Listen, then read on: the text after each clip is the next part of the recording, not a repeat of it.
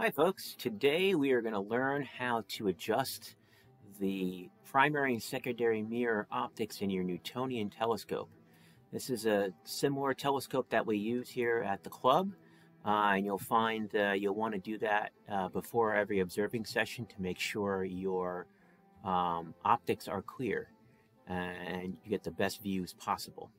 So very quickly, we want to align the optics on our Newtonian telescope.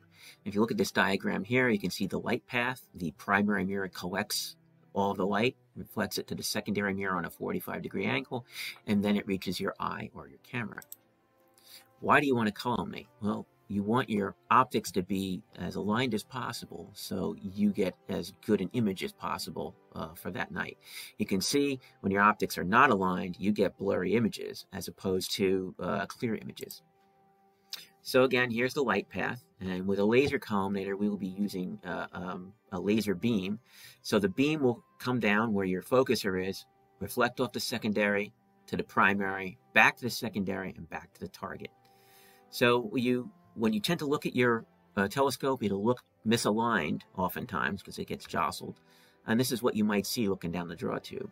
First, uh, you'll adjust your secondary mirror and then your primary mirror. Your optics will then be aligned. Uh, again, your collimator will go right in where your eyepiece goes. Your adjustment screws are in the front for the secondary mirror and in the back for the primary. Okay, once again, really quickly, uh, with, the, with the laser in, you will see a uh, the beam go down and looking in front into the telescope. You will see the secondary uh, mirror, uh, sorry, uh, shoot down the primary. You will put the laser in the middle of that donut at the bottom of the mirror. Go around the back of the telescope, look at the target, and adjust your primary mirror so your um, your laser gets target uh, hits the middle of the target and both beams then cross over and you have perfect column. So here we will show you how to line up the telescope. You can see that the collimator, the laser is off, the return beam is off the target.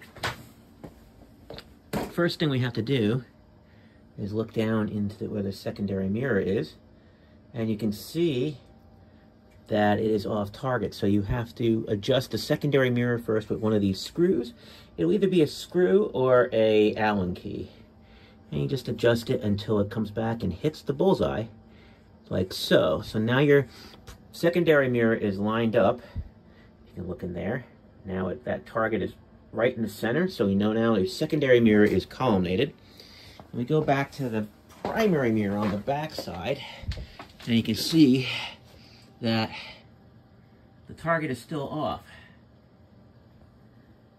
We want to get it centered. So how do we do that? We go down here to primary mirror adjustment screws and we adjust the primary mirror while looking at the target.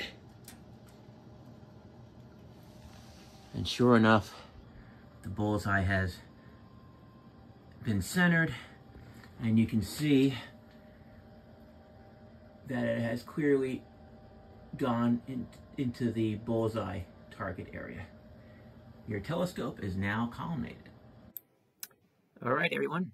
Hopefully everyone knows how to use one of these now. See you on the observing field.